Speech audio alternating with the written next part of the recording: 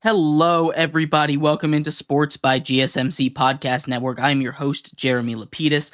Welcome in. I hope everybody had a great weekend. Today, we are going to cover all of the major stories from over the weekend, including the NBA draft, which is taking place on Wednesday. We are going to talk about what that might entail as far as the number one overall pick, the choices there for the Atlanta Hawks, whether or not they might trade out of it, and who might trade into that number one overall pick.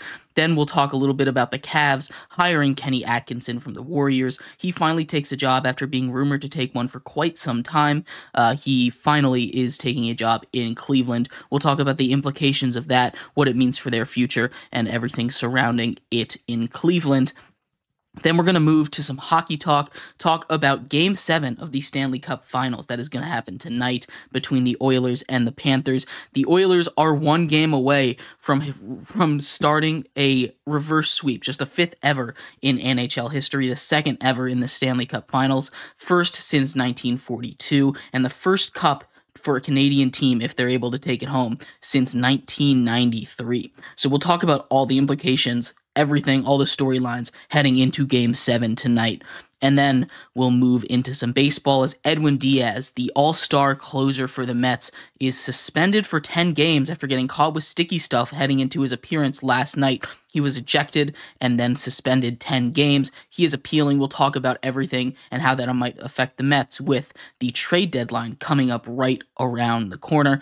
And then we'll end our show on some men's college world series, a do or die game 3 tonight between Texas A&M and Tennessee, who is going to take home their first ever men's college world series championship. We'll talk about all of that and more coming up uh, at the end of the show. But before we get into the NBA, remember that if you would like to be an even bigger part of the show than you already are, all you need to do is go to GSMC Podcast, and shop up on the screen for you and everybody else around the world. See, if you do have a burning question about sports, anything at all that you would like to ask, go ahead and throw that in the comments. Throw in the chat. I will get to it as soon as I possibly can. Appreciate all of you guys for sticking around, talking to me. Beautiful Monday afternoon.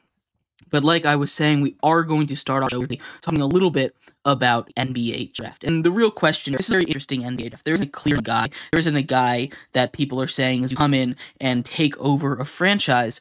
But not to say that this is an awful draft, right? You know, there has there isn't that a1 level star that we expect in a lot of but this is still a solid draft class. You know, you have some players that can be very very productive here in the NBA. It's not going to be a superstar powered draft, but it is an interesting question at the top. The Atlanta Hawks have the first overall pick after winning the lottery in a surprise. They were fighting for that play in spot in the East. And they end up getting the first overall pick instead.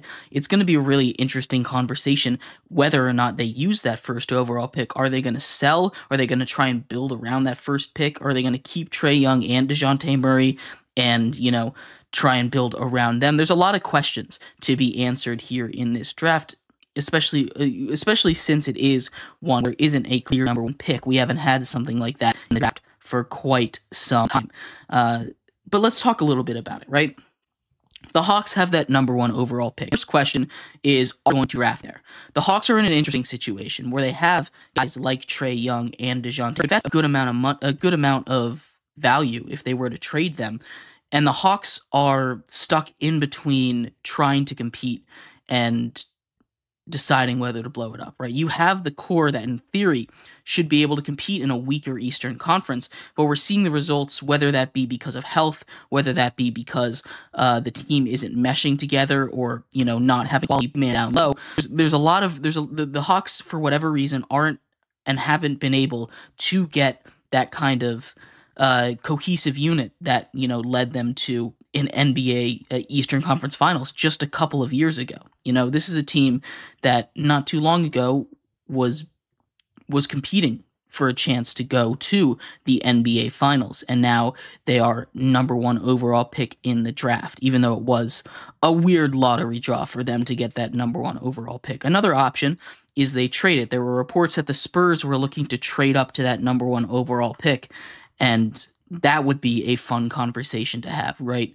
Victor Wembanyama being paired up with the number one overall pick, most likely one of his uh one someone from France, uh either Alex Sarr or uh, Zaccharie Risacher. right? You know, these two French seven footers that, you know, can continue uh, to make that Spurs team the the two giants. You know, it's a very similar thing to what they did. Obviously, not the exact same, but kind of similar to the way that they built with Tim Duncan uh, and all of those Spurs teams of the past. Uh, so, who knows? Maybe they're able to pull that off. If I'm the Hawks, I'm a big man here because if I'm here trying to diagnose the Hawks issue and there's a lot of issues with the Hawks, right? The Hawks aren't one piece away from competing, but in a weak Eastern Conference, if they're able to get a good piece, if they're able to get, for instance, a big man, like I said, that's something that they've really been missing. Clint Capela has fallen off a cliff since he was able to be that that factor down low that he was a couple of seasons ago,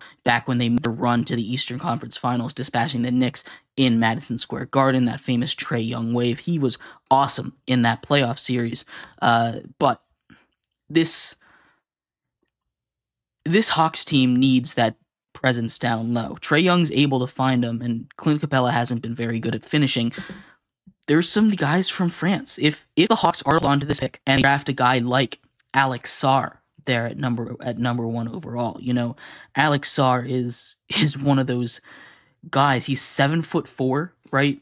And he has a he has that spacing ability. He can also, you know, as a seven foot four guy, be able to play center. Uh, you know, he's got those long arms, play good defense. On on the other side of things, the other Frenchman, and that's really what this seems like. It's a seems what what it seems like. It's a it's a combination of right. You have uh, Risacher, who's also you know not not a small guy himself. There's lots of seven footers at the top of this draft that I expect to go. Uh, I think the Hawks will end up making this pick, and I think Alex Sarr is the guy. That's the way that the betting lines are going right now. Uh, the seven foot four Frenchman uh, is going to add a huge, huge uh, complement to Trae Young. We know what Trae Young is, right? He's a great offensive weapon. He's got great court vision. He's able to set up his guys. If Alex Sarr is able to put everything we've seen from him, you know, all the tape that he's got, if he's able to put that on display, right? He's he's gonna get he's he he's gonna make that team very good, right? You know, Alex Sarr does have a little bit of inconsistent shooting from three, but uh, if he's able to keep a shot, and that's that's one of the things. There's big there's there's ups and downs with all these players, uh, and I think he, he's able to develop in the NBA the way that they want. Uh, it's gonna be it's going to be a fun little combination with him and Trae Young. People are talking all the time about Trae Young going to the Spurs, right? And teaming him up with Wemby, which that's a fun little picture, right? But you know, you get him his own kind of tall, you, you get his own kind of uh, big man with the Hawks, he can he can make this team a, a team that can compete with the Celtics, right? A team that again, this is a weak Eastern Conference, right? We saw how weak it was last year, and I don't expect every single team in the East to make a big jump this year, right? That Western Conference is tough to get through, but this Eastern Conference is ripe for one of those teams down low. A Hawks, a Heat, you know, maybe the Pacers, who were a six seed, make that step. You know, there's there's a there's there's a lot of there's there's a lot of options here for teams in the East to take that next step up. Uh, Notorious TBG asks original thoughts on Josh Giddey Alex Caruso trade. I cannot believe that that was a trade that the Bulls made. Alex Caruso, one of the best uh, defensive role players in the game, right? His ability to come in and affect the defense goes to the Thunder for essentially nothing, right? Josh Giddey is a guy that maybe has potential, but his shot is horrendous. He was a liability in the playoffs. He was benched, and I'm not going to say he's the whole reason why the Thunder couldn't get past the Mavericks, but they were attacking him defensively. They were leaving him open uh, offensively. They they were he they you couldn't leave him out on the floor. So I don't understand the trade. Maybe they're trying to tank. Maybe. And Chicago needs to reset. They need to reset hard but not getting a single pick for Alex Caruso is shocking. I don't think they, they they'll get much uh, as far as draft value for Zach LaVine, for DeMar DeRozan, for uh, Lonzo Ball if he's healthy enough to be traded. You know, these guys just their contracts are too high. They're on expiring contracts, stuff like that, and Alex Caruso was the guy that you were going to get the most value for, and you just get Josh Giddey. And I quite honestly I have no idea what was going through the heads of the Bulls front office there. But uh, you know, it's great for the Thunder. This Thunder team, who were who was a one seed, in the playoffs last year, right? They go through and they add uh, Alex Caruso. Defense, as good as they were, you saw they were kind of struggling against Luka and the Mavericks, especially down the stretch. As good of a job as Lu Dort did did on Luke, as as good of a job as Lu Dort did on Luka in that series. We saw him figure it out down the stretch, and having more versatile wing, def- wing defenders to be